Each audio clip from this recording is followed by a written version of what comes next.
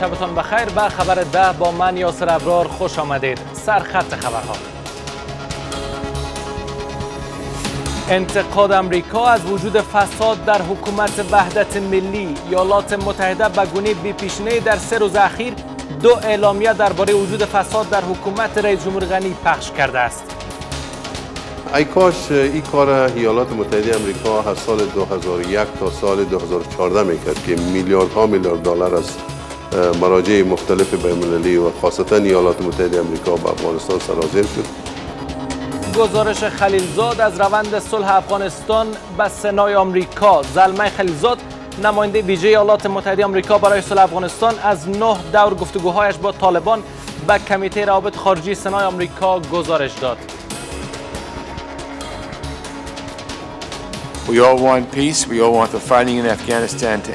تمامی ما صلح می خواهیم تمامی ما خواهان پایان جنگ در افغانستان هستیم. اما کنگرس باید بداند که این معامله بالقوت چیست. طوفان هریرود قهرمان هشتمین دور رقابت های لیگ برتر فوتبال افغانستان. نماینده زون غرب کشور توانست در فرجامین دیدار این پیکارها با نتیجه یک صفر نماینده زون پایتخت کشور شاهین آسمایی را شکست بدهد. خوشحالی خود رو بیان کردن نمی‌تونم تسویز تک تک از تماشاچی هست که امرو ما روایت کردم تانست مداخل مداخل خانه شاهین آسمایی برای دومین بار کاپ قهرمانی بار سر بالا آورد و اعتراض ها از بی‌پروایی دولت ها در برابر محیط زیست مشروع طوفان هریرود قهرمان هشتمین دور رقابت‌های لیگ برتر فوتبال کشور شد. نماینده زون غرب کشور توانست در فرجامین دیدار این پیکارها با نتیجه یک صفر نماینده زون پایتخت کشور شاهین آسمایی را شکست بدهد. گفتنی است این سومین بار است که تیم طوفان هریرود جام رقابت‌های لیگ برتر فوتبال را بالای سر می‌برد. رقابت‌های لیگ برتر فوتبال کشور در حدود یک ماه پیش با شرکت هشت تیم از سراسر کشور آغاز شده بود و امشب با قهرمانی طوفان هریرود به پایان رسید. دو تیم بازی را متعادل آغاز کردند و نیمه نخست بدون این که کدام موقعیت خاص روی دروازه ایجاد شود با تساوی سفر سفر به پایان رسید نیمه دوم را مدافع عنوان قهرمانی طوفان هریرود هجومی آغاز کرد و بازیکنان این تیم چند موقعیت خوب به دست آوردند در مقابل شاهینی ها هم چند موقعیت نچونیمه به دست آورد اما هیچ تیم موفق نشد تا در وقتی قانونی گلزنی کند و بازی در 90 دقیق قانونی با تساوی 0 0 به پایان رسید و به این ترتیب فرجامین دیدار هشتمین دور های لیگ برتر فوتبال افغانستان به وقتهای اضافه کشیده شد. نیمه نخست وقتهای اضافه را طوفانی ها هجومی آغاز کردند و بازیکنان این تیم توانستند در نخستین دقایق توسط حاتم شیردل به گل دست یابد. در مقابل شاهینی ها برای جبران گل خورده زیاد تلاش کردند اما نتوانستند گل به ثمر برساند و امان الله سرداری از تیم شاهین آسمایی بعد از یک برخورد با بازیکنان حریف از سوی داور کارت زرد دوم را گرفت و از بازی اخراج شد تا شاهینی ها ده نفره شود در نیمه دوم وقت های اضافه شاهین آسمایی سر و پا حمله بود اما توپی دیگر از خط دروازه ها عبور نکرد و بازی با پیروزی یک بر صفر طوفان هریرود با پایان رسید و این تیم برای دومین فصل پیخم قهرمان رقابت های لیگ برتر فوتبال افغانستان شد. خوشحالی خود رو بیان کردن نمی‌تونم تسویز تک تک از تماشاچی هست که امرو ما روایت کردم. تانست مداخل مداخل خانه شاهین آسمایی. برای دومین بار کاپ قهرمانی بار سر بالا آورد. خیلی خوشحال است فوتبال برد و باخت داره. می‌دونید که تیمای خوب خوب دنیا نتیجه نمی‌گیره. یا میبازه قسمت بوده که امروز شاهین آسمایی نتونه ببره هراته و جام به هرات بره. و یک چیز معمول است ولی ما تلاش شما را کردیم و انشاءالله بازم تلاش می‌کنیم. شاید تلاش کنیم کم بوده. شاید مشکل از جای دیگه داشته باشیم. هشتمین دور رقابت های لیگ برتر فوتبال کشور از یک ماه قبل با شرکت هشتیم از سراسر کشور آغاز شده بود که امشب با قهرمانی تیم طوفان هریرود نماینده زون غرب کشور به پایان رسید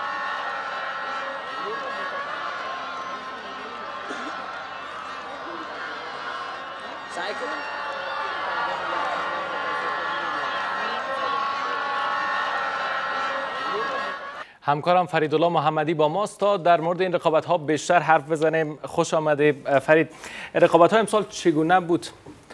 سلام به شما و به تمام بیننده های عزیز لیگ برتر فوتبال افغانستان یگانه مرجع امو بزرگترین stage فوتبال در افغانستان حساب میشه و هدفش هم انتخاب چهره‌های برتر به تیم های ملی زیر 19 سال 21 سال و 23 سال و همچنان تیم ملی.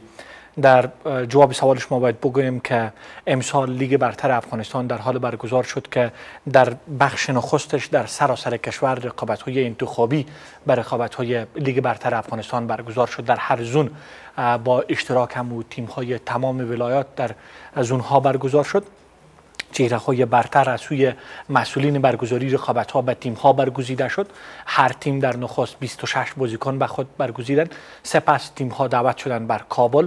در نخست تقریبا بیشتر از 15 روز اردوگاه تمریناتی داشتند در مرحله گروپی بازی ها برگزار شد که در مرحله گروپی بازی های بسیار زیبایی را مردم افغانستان شاهد بودند که از جمله ما می‌تونیم که رویارویی تیم های سیمرغ البرز و میوند اتلان را اشاره کنیم. سپس رقابت ها آمد به دور semi final که امسال ما دو بازی برگزار کردیم در semi final تیم شاهین آسمایی نماینده پایتخت کشور که هفتمین بارش بود توانست در فاینال بازی کنه. سیمرغ البرز شکست داد و همچنان تیم طوفان هریرود هم تیم اسپینغر شکست داد و تا آمدن به فاینال در کل یک بازی بسیار جذاب و دلچسب برای مردم افغانستان بود که لذت این بازی ها همه ساله شور و هیجان ایجاد بله، می‌کنند میان همین مردم افغانستان. استقبال مردم از نزدیک چگونه بود؟ حضور بله. مردم حضور زنان. یکی از چیزهای بسیار خوبه که فوتبال افغانستان به میان آورده اتحاد و همدلی میان مردم افغانستان. باور کنین امروز در اواخر دروازه های استادیوم بسته شد. آنقدر مردم در بیرون از سرک ها استاد بودن جای در داخل نبود. استقبال مردم پرشکو بود. هیچ ما نمی‌تونیم که را بیان کنیم. مردم در یک فضای صلح و برادری با هم آمدن بازی ها را از نزدیک تماشا کردن. خصوصا آمردن بانوها در این وضعیت در ورزشگاه فدراسیون فوتبال افغانستان بسیار قابل ستایش تشکر از همکارم از اینکه به آمده ایالات متحده به گونه بیپیشینه در سه روز اخیر دو اعلامیه درباره وجود فساد در حکومت رئیس جمهور غنی پخش کرده است. این اعلامیه ها یک هفته پیش از انتخابات ریاست جمهوری افغانستان پخش شدند. اما اداره تدارکات ملی در واکنش به نگرانی ایالات متحده آمریکا درباره نبود شفافیت در کارهای کمیسیون تدارکات ملی می‌گوید که این کمیسیون تمامی تصمیم ها را درباره پروژه, ها در حضور ناظران ملی و جهانی و نیز در حضور رئیس جمهور و رئیس اجرایه گرفته است. وزارت خارجه ایالات متحده امریکا در یک اعلامیه گفته است که این کشور به علت موجودیت فساد و نبود شفافیت در کارهای حکومت وحدت ملی 100 میلیون دلار پولی را که به یک پروژه بزرگ زیربنایی برق در افغانستان در نظر گرفته بود دوباره به وزارت خزانهداری امریکا برمیگرداند. وزیر خارجه ایالات متحده آمریکا در این اعلامیه می‌گوید که واشنگتن انتظار دارد تا نهادها و رهبران حکومت افغانستان باید از کارهایشان حسابده و شفاف باشند. در این اعلامیه آمده است که حکومت ایالات متحده آمریکا از بحر فساد و سوء مدیریت در حکومت افغانستان 100 میلیون دلار را دوباره به خزانه آمریکا برمیگرداند. این پول برای کمک به یک پروژه بزرگ زیربنایی انرژی اختصاص داده شده است. اما اداره تدارکات ملی در واکنش به نگرانی ایالات متحده آمریکا درباره نبود شفافیت در کارهای کمیسیون تدارکات ملی می‌گوید که این کمیسیون همه تصمیم ها را درباره پروژه ها در حضور ناظران ملی و جهانی و نیز در حضور رئیس جمهور و رئیس اجرایی گرفته است. نگرانی های مبنی بر که در تصامیم کمیسیون تدارکات ملی وجود دارد ما خود مکلف می‌دانیم که به تمام نگرانی ها پاسخ بدیم رهبری جلسه های کمیسیون تدارکات ملی و نیز تصمیم گیری درباره پروژه ها از سوی محمد اشرف در حضور الهام عمر هوتکی رئیس کمیسیون تدارکات ملی محمد همایون قیومی نامزد وزیر مالیه و عبدالله عبدالله رئیس اجرایی گرفته می شود. ایالات متحده در سه روز اخیر دو اعلامیه درباره وجود فساد در حکومت رئیس جمهور غنی پخش کرده است آن هم در آستانه برگزاری انتخابات ریاست جمهوری که در این انتخابات هر دو رهبر حکومت نامزد هستند. ای کاش این کار ایالات متحده امریکا از سال 2001 تا سال 2014 می‌کرد که میلیاردها میلیارد دلار از مراجع مختلف بین و خاصتا ایالات متحده امریکا به افغانستان سرازیر شد و قسمت اعظم از او دزدی شد و گم شد و به حسابات شخصی بسیار نخبگان سیاسی افغانستان افتاد.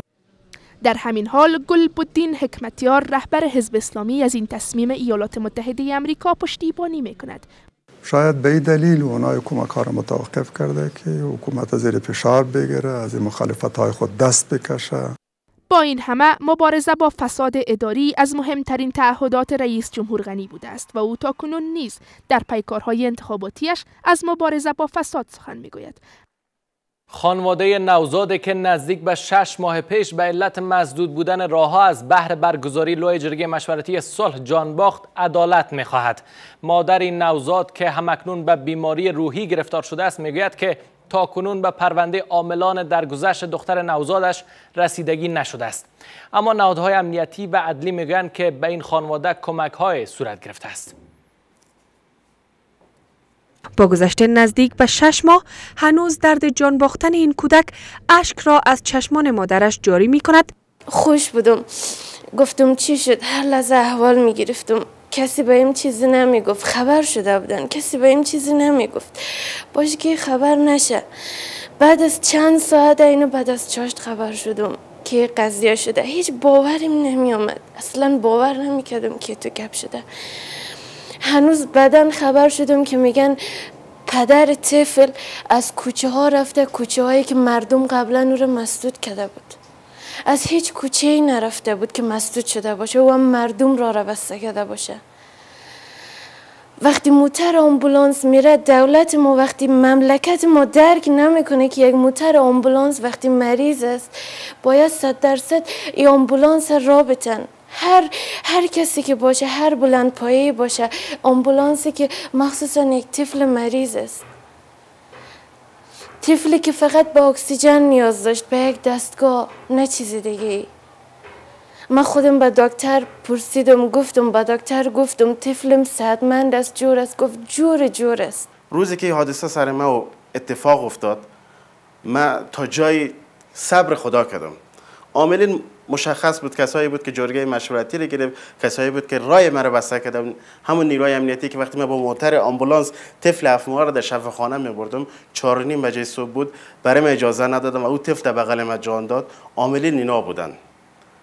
ولی افسوس بعد بعد از این قضیه که برای من وعده دادن و عمل نکردن این وعده خود. اداره امور عمل نکرد وعده خود. اداره امور میگه ما امروز بودجه نداریم. روز استقلال افغانستان بیرق 73 لگی می‌خرید. 73 لگی که یک هفته بعد او بیرق توته توته میشه. بر از او بودجه هست. برای من که داغ خودتان هستم. داغ دیده همین جرگه مشورتی هستم. برای من بودجه ای نیست. اما نهادهای امنیتی و عدلی می‌گویند که به این خانواده کمک هایی صورت گرفته است. رای که او منتهی شده بود به او شفخانه او توسط اهالی منطقه قبلا مسدود شده بود. کودک نوزاد این خانواده از بهر تولد زود هنگام به اکسیژن نیاز داشت و این کودک به علت بندش راهها از بهر تامین امنیت جرگه مشورتی صلح به شفاخانه نرسید و در راه جان داد. زلمه خلیلزاد نماینده ویژه ایالات متحده آمریکا برای صلح افغانستان از نه دور گفتگوهایش با طالبان به کمیته روابط خارجی سنای آمریکا گزارش داد. الیس ولز معاون وزیر خارجه آمریکا می‌گوید که طالبان به نمایندگان آمریکا گفتند گفتن که از شماری از اشتباهات گذشتهشان آموختند. پس از توقف روند گفتگوهای صلح ایالات متحده آمریکا با طالبان زلمه خلیلزاد از چگونگی نو دور گفتگوهایش با طالبان به کمیته روابط خارجی سنای ایالات متحده آمریکا گزارش داد. تمامی ما صلح می خواهیم تمامی ما خواهان پایان جنگ در افغانستان هستیم. اما کنگرس باید بداند که این معامله بالقوت چیست. اعضای دو طرف این فرصت را دارند که پرسش هایشان را مطرح کنند. در چند هفته گذشته ما دیدیم که روند مصالحه در افغانستان متوقف شده است. متاسفانه طالبان سود چشمگیر بردند. امروز آنان نزدیک به 50 درصد کشور را اداره می کنند و به گونه فزاینده در خشونت ها نقش دارند. اما پس از 18 سال جنگ مردم ایالات متحده امریکا و اعضای کانگرس می خواهند بدانند که برنامه ما برای رسیدن به صلح چیست. معاون وزارت خارجه ایالات متحده امریکا پس از 18 سال جنگ کشورش در افغانستان هنوز هم گروه های حراس افغان را در افغانستان تهدیدی برای امنیت کشورش می‌داند. هنگامی که ایالات متحده امریکا در افغانستان حضور نظامی پیدا کرد خواستهای ما مشخص بودند. یعنی اطمینان از این که افغانستان هرگز پناهگاهی برای حمله حراس افغانان در برابر امریکا نباشد. از همین رو مأموریت ما در 18 سال گذشته و همکاری ما با همپیمانان ناتوی ما یک موفقیت است. پس از حمله های 11 سپتامبر هیچ گروه حراس افغان از خاک افغانستان بر ما حمله نکرده است. اما تهدیدها هنوز بر جا هستند. انتظار ما از دوستان بین المللی افغانستان نیز همین است که با قضیه صلح برخورد سطحی نکنند. ورنه پیامدش همان خواهد بود که پس از شکست کمونیسم در افغانستان رخ داد. با این هم رئیس جمهور امریکا پس از حمله طالبان بر شجرک کابل که به شمول یک سرباز امریکایی 11 تن دیگر جان باختند گفتگوهای صلح نمایندگان حکومتش را با طالبان متوقف ساخت. تا لحظات دیگر. علاقمندی زنان به رانندگی در بلخ.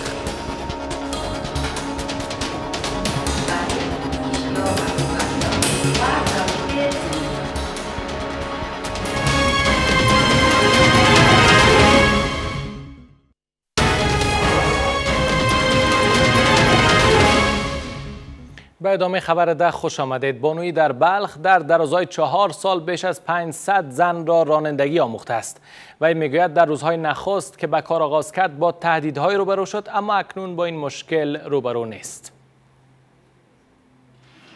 این آموزگار مؤسسه عالی تربیه معلم ولایت بلخ چهار سال پیش یک آموزشگاه رانندگی ویژه بانوان را در مزار شریف ایجاد کرد. تا حرفه رانندگی را به زنانی که دلبستگی به آن دارند یاد بدهد. می‌گوید در این سفر پستی و بلنده های زیادی را دیده است و خرسند است از این که بیش از 500 زن را رانندگی یاد داده است. بعضی چالش ها سر رای ما صدر رای ما شدم مثلا از طریق تلفن یگان تعدید شده. یا مسج بر ما روان می‌کنن که کارت خوب نیست باید آموزشگاه بسته کنی. ولی ما مبارزه کردیم. برای اولین بار. می‌گوید چندین بار به بیرون از کشور رفته است. در آنجا زنان را یافته که به سادگی رانندگی می‌کردند. از این رو تصمیم می‌گیرد تا رانندگی را یاد بگیرد و آن را به هم نوعان خود بیاموزاند. سرانجام پس از تلاش های زیاد به این هدف خود می‌رسد. که یک مرد بر ما زنگ زد. گفت استاد ما ما دو تا دخترم از یک جا. دو دخترشون آوردن یک جا ثبت سر کردن. یعنی مردهای ما قبول کردن که این واقعا یک مهارت باید خانمشون دختر خانمشون یاد بگیره یک وقت عادتشون می‌کنه ماریا نوابی که آموزگار است در آموزشگاه رانندگی ویژه بانوان بلخ رانندگی را یاد گرفته است. او پس از سه آموزش های نظری و عملی اکنون می تواند که رانندگی کند. در زن این ضرورت هم باید یادگیری هم یک هنر است هم یک ضرورت. من خوش هستم که امروز می‌تونم خود کفاستم و از بعض ضرورات خدا خودم انجام داده می‌تونم. و تکیه به کس دیگر نمی‌کنم که کی باید بیاید چی کار من اجرا کنم.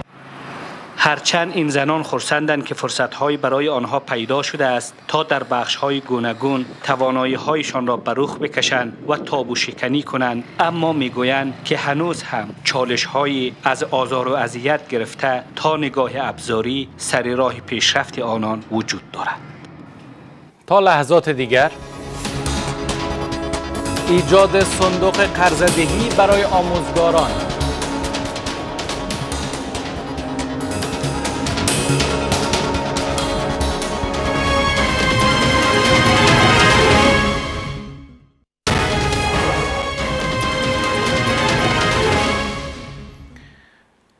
باز هم خوش آمدید. ریاست معارف هرات از ایجاد یک صندوق قرضدهی برای آموزگاران در این ولایت خبر می‌دهد. رئیس معارف هرات می‌گوید که آموزگاران می توانند که از این صندوق تا 20 هزار افغانی قرضه بدون سود بگیرند و در درازای یک سال آن را پس بپردازند.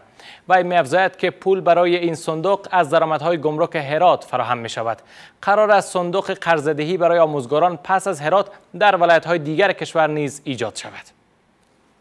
ایجاد صندوق قرض برای آموزگاران. از این پس آموزگاران بر حال که نیاز مالی داشته باشند می توانند از 5000 افغانی تا 20 هزار افغانی را از این صندوق قرضه بدون مفاد بگیرند. ما توانستیم در مدت کوتاه حدود 200 نفر از معلمین که درخواست داده بودند درخواست از اونا تیم کنیم در هر درخواست تا مبلغ 24 هزار افغانی اونا می‌تونن قرضه بگیرن. آموزگاران همواره انتقاد می کنند که معاششان کفاف نیازمندی های زندگیشان را نمی کند. اکنون با ایجاد صندوق قرضدهی خورسندند و از بازرگانان نیز می‌خواهند تا این صندوق را حمایت مالی کنند. دیگه نهادها به این صندوق همکاری کنند و این صندوق تنها به ریاست معارف واگذار نکنند چگونه بکوشم که معلم در خانه اقارب نزدیک یا غیر اقارب یا همسایار دیگه به خاطر قرض گرفتن تک تک نکنه این پول از محصول گمرکی هرات وضع می گردد و تا کنون 15 میلیون افغانی در این صندوق پول گردآوری شده است. اولین چک قرضه‌دهی برای پنج نفر از معلمین به مبلغ 108 هزار افغانی امضا شد. این پول به شکل قرضه بدون سود است و تا مدت یک سال مقدار مشخصی از معاش آموزگار برای پرداختان کم می گردد. تا لحظات دیگر نمایش ابزارهای برقی در شهر وانگژوی چین.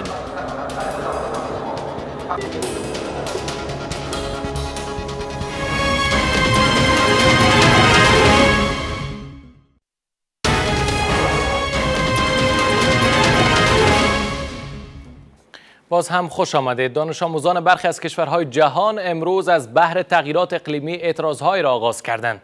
این دانش آموزان حکومت ها را به بیپروایی در برابر تغییرات اقلیم متهم می‌سازند. این اعتراض ها در بیشتر کشورهای جهان با فراخان یک فعال 16 سالی محیط زیستی از سویدن آغاز شدند.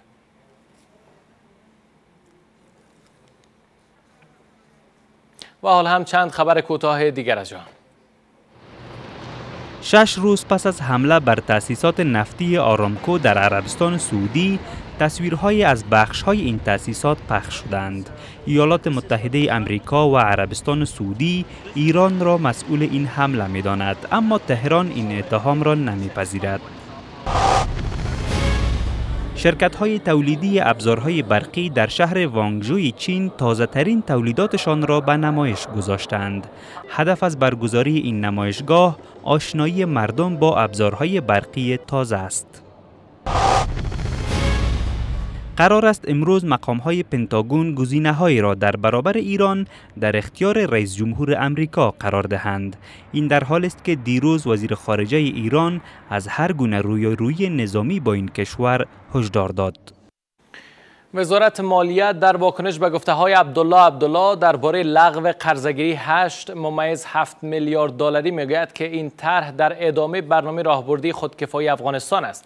سخنگوی وزارت مالیه می‌گوید که این وزارت در 9 سال آینده این سرمایه گذاری را در سه بخش زیربنا کشاورزی و انرژی خواهد کرد. از هم دست انتخاباتی عبدالله عبدالله این طرح را یکی از برنامه های انتخاباتی رئیس جمهور می‌داند. عبدالله عبدالله در مناظره که با شبکه خبری آریانا نیوز داشت طرح سرمایه گذاری 8 میلیارد و 700 میلیون دلاری وزارت مالیه را نادرست خواند و گفت که این طرح از سوی جامعه جهانی رد شده است.